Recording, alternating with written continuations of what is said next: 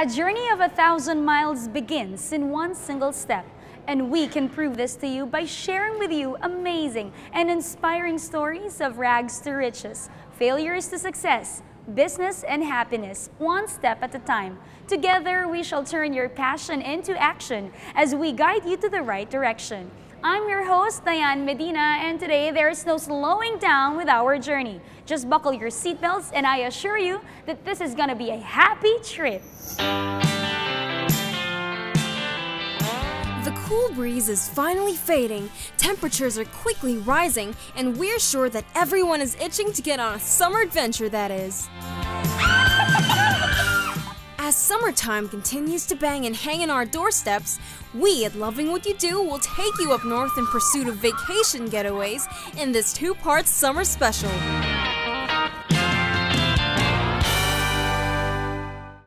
April and May are said to be the hottest Philippine months, so what's the best thing to do? Hop on the beaches of Cabangan, Zambales. First stop is the accidental beach paradise named Joy's Place on the Beach. Actually, galing kami ng Tagaytay. From Denmark kasi nag-move kami to Tagaytay. Kaso lang, hindi nagustuhan ng husband ko yung weather doon dahil malamig. One time, nag-visit kami dito for my family.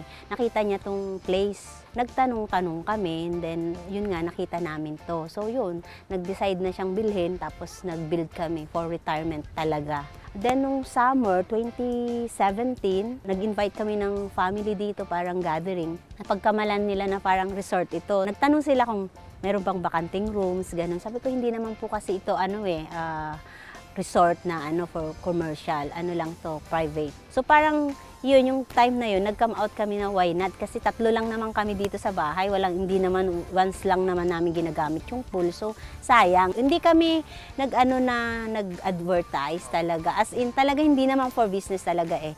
Ah, reviews lang and then recommendation. Yun, doon kami nag-start. Parang paunti-unti, step by step. Meron kaming apat na rooms na aircon, which is may private bath and toilet. And may isa akong room na doon sa back front, doon sa may entrance. May sariling kitchen, may TV siya. So yun lang yung room na may TV. So tapos yung dito sa beachfront, dalawang aircon. So isa yung special room, and then yan, family room, which is uh, ma-accommodate niya ang 8 packs. And then meron akong kabana, they call it nipahat. Yan, hanggang 4 to 5 packs naman ang maximum niya. So, bali, apat na aircon at saka dalawang nipahat. Gusto namin, laging yung guest namin is talagang homey sila talaga na yun nga yung pinuntahan nila dito, peace and quiet, tapos mag-over ka ng tao. So, ayoko din yun kasi gusto ko more comfortable talaga yung guest ko kung ano yung nakita nila sa page namin, sa Facebook, sa Airbnb, yun yung nakikita nila in person talaga when, when they arrive. Yung malinis talaga. Kasi yun ang napaka-importante sa guest eh. Sabi nga nila, we don't mind na yung hindi malaki yung room, basta malinis. Yun yung komportable sila. Haven't had enough beach? Then why not spend a day or two more at Lahar Beaches of Cabangan? This time at Casa Angelina, which is, by the way, owned by a missionary couple. So before Roy and I met, so I'm teaching college in Olongapo. So I'm teaching uh, business subjects and also hotel restaurant services subjects. I was working for a semiconductor company out of uh, Holland. I'm from the U.S. originally. I was an engineering manager for 25 years for the company. And then I was always involved in uh, local churches. Wherever I lived, wherever I worked, I was involved in the, in the local church in some leadership capacity. So we have a Filipino uh, pastor friend, and uh, he's working in Cambodia for many years now. He's a church planter in Cambodia. So Joanne and I met through him. So we're like uh, emailing each other for like a few months and then after that we personally met here in the Philippines. So the, uh, the reason for me to come to Asia was primarily for missions work.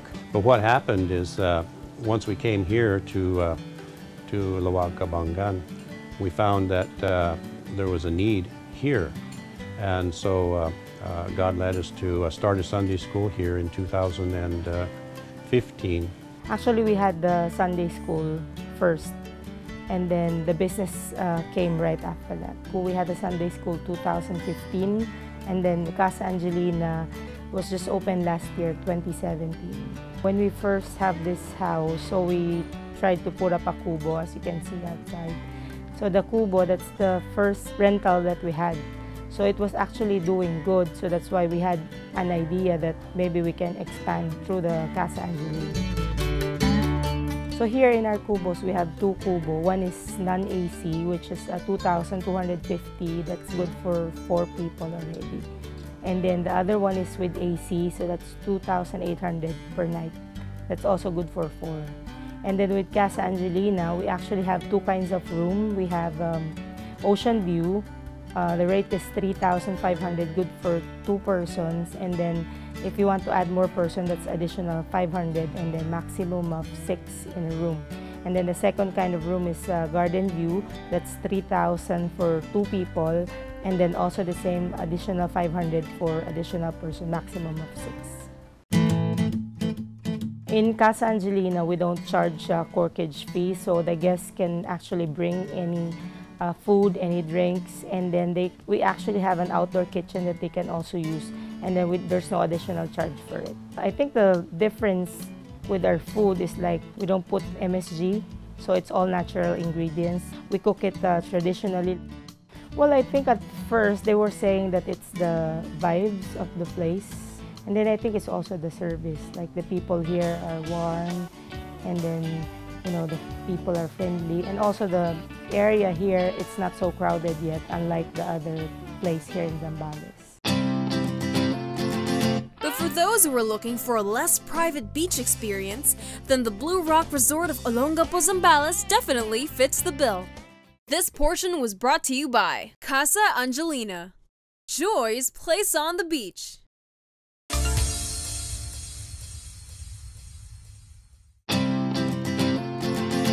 For those who are looking for a less private beach experience, then the Blue Rock Resort of Olongapo Zambales definitely fits the bill. Blue Rock Resort is located in Balaylong Beach, Barrio Barreto, Olongapo City, Zambales. It has uh, 41 beachfront rooms and uh, open 24 hours. Aside from 24-hour bar and restaurant, we also have our swimming pool and a seasonal floating bar, which is also open between 12 noon until 10 p.m. every day. Blue Rock Resort offers 41 luxurious rooms from standard beachfront room, superior beachfront room, beachfront room with private lunch, deluxe back room, junior suite room, and junior suite poolside room.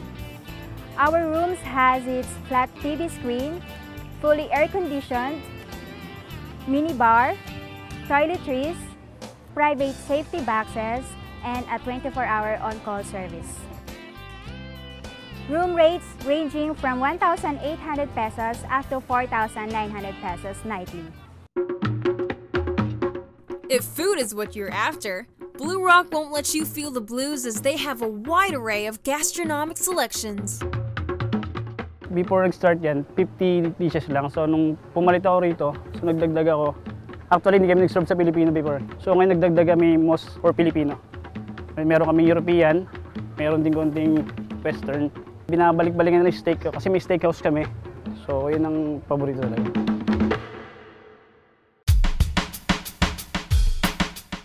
And to cap off the first part of our summer special, take a short ride from Blue Rock Resort and head on to a place where you can float and bounce to your heart's content. Roughly the size of eight basketball courts, the inflatable island currently holds the title for the biggest floating playground in Asia.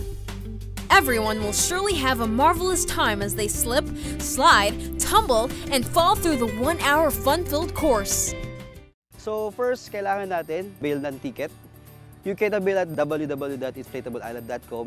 Makikita nyo na po doon yung mga different kinds of ticket, passes, or yung mga amenities. And then, kung mag-walk-in naman po, we have the ticket booth in the front. And then, doon nyo na po makikita yung categorized ng tickets. then after, bibigyan ko kayo ng ticket, diretso po tayo sa orientation para sa mga do's and don't, orientation, briefings. And then, we have the lockers para sa mga secured po yung mga valuable things. And then as you can see here, we have the Bali Lounge, the picnic tables, para kung saan kayo pwede mag-stay pag dito kayo sa inflatable. And then after nun, nakapag-change gear na po tayo, total outfit, we have the life vest station, doon na natin i-claim yung mga life vests. And then after that, proceed na po tayo sa inflatables, kasama ng mga lifeguards, i-assist po tayo. The inflatable itself, they have the different kind of obstacles. So simulan natin sa mga basically here, yung mga platforms, different kind of slides. We have the Lumen Launcher, the iceberg, and then yung pinaka-ultimate favorite ng lahat, syempre, the Tarzan Swing. And then a whole lot more sa mga obstacles dito sa, sa loob. Ang pinaka na gustuhan kong activities nila is yung human launcher. It has a unique experience, fun all in all. Ito yung inaabangan natin this coming summer, especially para sa mga kids. So ito yung tinatawag natin Kids Cove or the Unicorn Island. So it's roughly, it's about 400 square meter. Open na siya for sa, sa mga kids. So we have total of 20 lifeguards designated sa mga areas natin all over the inflatable island. And then, if ever matumba, mahulog, don't worry kasi baka generous, mababait ang mga lifeguards natin. Tutulungan, tutulungan po namin kayo pag ganun. Sa, aside from inflatable, yeah, if makikita nyo, we have the Bali Lounge, kung saan kayo pwede magpahinga, inspired from the Bali, kung makikita mo yan. Then the bean bags. Sa mga mag-commute, you can ride a bus from Manila and going here sa their Olongapo. Tanong nyo lang yung mga driver natin sa Blue Jeep or Tricycle, kilala kilala na po agad nila sa Inflatable Island. So sila mismo maghahatid sa iyo dito, sir. Sa operating hours natin, sir, the play starts at 8, but then the operation starts at 7. So we have uh, one hour before the play, syempre para ma-clear natin area to make sure everything's fine and everything's clean. And then ganoon din sa pag-out, uh, the, the operation will stop at 6. And then we allot one hour more to clearing the area para kinabukasan hindi hindi siya ganun then ready for the operation again. There you have it! We splashed and washed our way through the beaches and shores of Olongapo and Subic, but the summer is just getting started and so are we.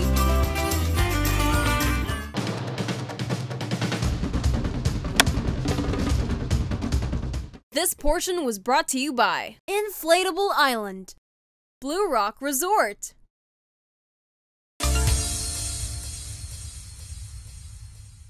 This portion is brought to you by Bless Amares Sunrise Resort.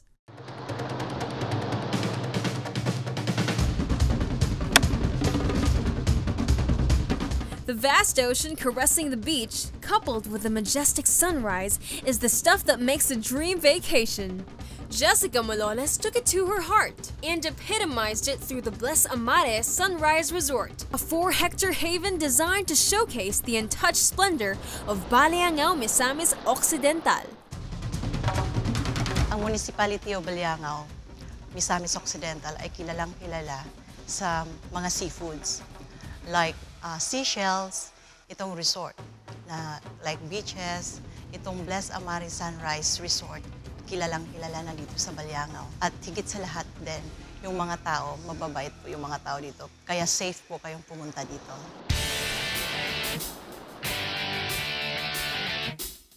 Sobrang ganda yung, yung environment, sobrang linaw ng tubig, at higit sa lahat, yung parang uh, pag nandito ka na, parang ayaw mo nang umuwi sa Maynila. Parang gusto mo na dito na lang, kung pwede lang. nakikita nila sa website at saka word of mouth na din siguro. So, pumupunta sila, hindi nang naman taga rito eh. Taga Dav, from Davao, from Dipolog, Usamis, hindi lang taga rito ang pumupunta. Kasi by, ano yan sila, by van, by bus, yung mga outing nila, dito sila pumupunta. At saka siguro, nang dahil din siguro sa entrance na 40 pesos ang entrance lang. So makakaligo na sila. Very affordable. Kasi gusto namin maranasan ng mga tao na kahit na parang exclusive yung resort, maranasan nila yung ambience na maganda at uh, minsan lang nila nakikita.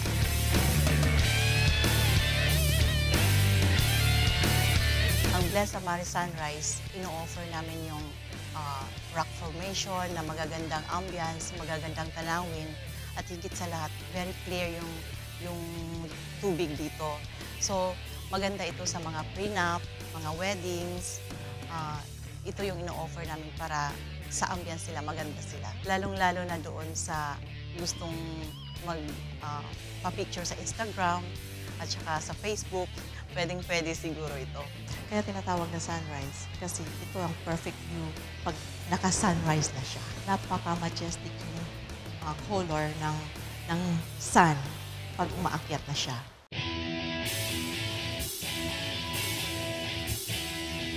At ilan sa mga activities na pwedeng puntahan dito ng mga magkabarkada at especially yung family outing ay yung uh, banana boat, jet ski, and also the sea seas.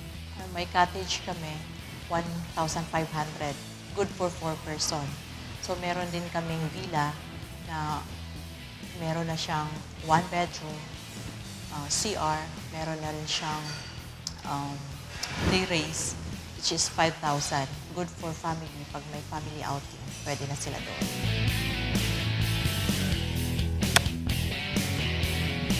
Para pumunta dito, at from Manila, sasakay lang sila ng to Dipolog. From Dipolog Airport, pwede silang sasakay ng van o mag-rental ng van. Mga one hour pa papunta dito. Pwede rin silang sumakay ng bus, tapos bababa ng Kalamba. Pagdating ng Kalamba, sasakay na sila ng tricycle papunta naman dito sa Blessed Amari Sunrise at sabihin lang nilang Balyangaw.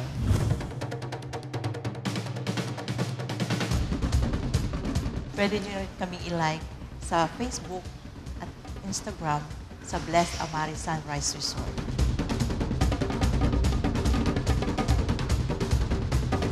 I'm Jessie Maloles of Blessed Amari Sunrise Resort and I'm loving what I do.